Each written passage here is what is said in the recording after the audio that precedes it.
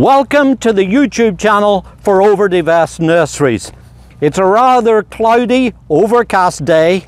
It's fairly breezy and the weather forecasts say there's a storm coming. But you know what? It's really nice to be out here, especially surrounded by all of these lovely plants. And if you're a returning subscriber, welcome back and thank you for joining us. If on the other hand, you haven't subscribed to our channel yet, can I suggest that now might be a good time to do so? Because we're busy posting new videos all the time featuring all sorts of interesting and exciting plants that are really good in this region. And when you view those videos and you find the information useful and helpful, it would be nice if you could kindly share that with some of your friends, perhaps offer some comments, and also click the like button too, because that will help to make it available to other people as well. Back in the early 1990s, Dr. Elwin Orton at Rutgers University developed a series of dogwoods, hybrid dogwoods, that enabled us to be able to enjoy all the beautiful characteristics of flowering dogwoods, but without having the concerns of having a debilitating disease called dogwood anthracnose, and also a little borer that attacks them as well. Now, as beautiful and reliable and resilient as they are, they tended to be a little on the dull side, whites and pale pinks. And those of us that are looking for more colour in our garden long for ones that have a deep pink and flowers that last a long time. Then a little later on, in fact in 1996, he started to experiment with some colored forms of Cornus kousa that were obtained from Japan.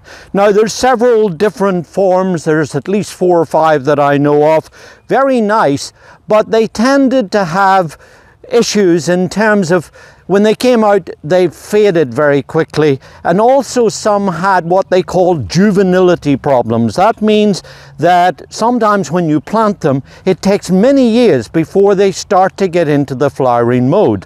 So Elwin decided that with his experiments, he would see if he could improve upon them. Crosses were made, seeds were sown, and seedlings were lined out at Rutgers. And then Elwin retired. And in 2008, when Dr. Tom Molnar took over, he went through some of the seedlings, selected seeds from some open pollinated plants that were there, and then in 2013, he noticed one that turned out to be rather special. And this is the result.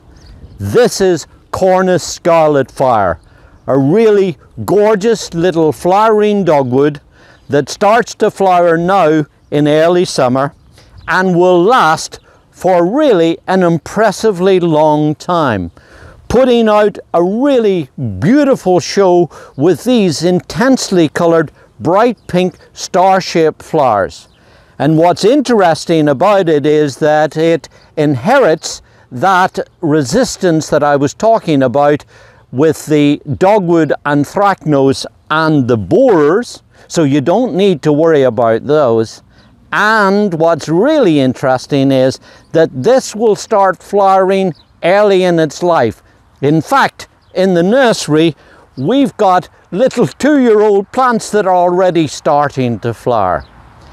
And best of all, when you look at it here, you will see that you, as the gardener, as the garden designer, can start to do some really interesting things with it. Take for example here, see how it's set off in the sea of purple salvias? This is really, I think, inspirational. I had nothing to do with this. This is my boss that decided to set it off in the sea of purple, which contrasts so beautifully with these bright pink flowers. And that for me is one of the keys about gardening. We can grow them in the nursery. We can tell you all about what to do with them in the garden centres, but it's what you do with the plants when you take them home that really makes the difference. That's where imagination, vision, and perhaps inspiration of seeing impressive sights like this can set the garden off with you taking your artistry and really developing some beautiful combinations. And there's another little trick that I want to tell you about too. And that is that if you can take a plant like this and set it somewhere in a south or west facing orientation, somewhere where it's going to catch the setting sun in the evening, I can tell you, well, you will see that this is really a beautiful place to put your little scarlet fire dogwoods because there's something special about the bracts that are on these plants that reflects light in a positive way. It really positively glows with this light hitting these colourful bracts. Now you might be interested to know that while we generally refer to these as flowers, they're really not flowers as we know them. These are not petals, they are in fact coloured bracts, kind of like the poinsettia at Christmas time. The real flowers are in here in this central kind of button-like structure here in the middle of the blossom. These are really kind of modified leaves and that's why they last so long because they don't fall off like conventional petals. Star shaped as you see, they don't overlap but they put on an impressive show when they're growing and showing off in this amount of concentration. Now, if you're thinking about growing it in your garden somewhere, it's really not that difficult. It's hardy to zone 5, so it'll grow anywhere within our region. It does best in a sunny, open position. It will grow in partially shaded conditions, but you'll find there that it will stretch up a little bit probably not be quite as floriferous as it is when it's out in full sunlight and it might even grow towards the sun too. Outside of that, all you need is an average free draining garden soil. Good drainage is important, they just won't do in a wet clay soil. When you get it home, it'll come to you in a pot then take the plastic pot off, of course, and dig a good sized hole and incorporate plenty of organic matter and then water it well until the plant becomes established. Once you get it planted, put down a layer of mulch like we have here because that will help to conserve the moisture and it'll keep the roots cooler during the summertime too. Outside of that, there really isn't a lot more for you to worry about and you can look forward to enjoying all of these gorgeous flowers. But there is one little quirk that I want to tell you about. Remember I was talking about juvenility and how some forms take many years to get to the flowering stage?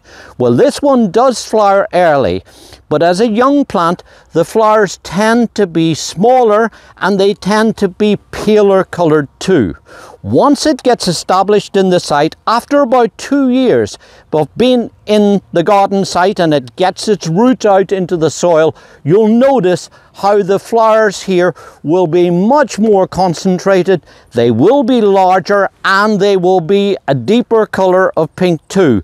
So when you go to the garden centre and you're looking at the little plants and you see the smaller flowers on there, don't worry because when you get it planted out and then just have a little bit of patience, you'll then be able to enjoy all of these gorgeous flowers on this beautiful little tree.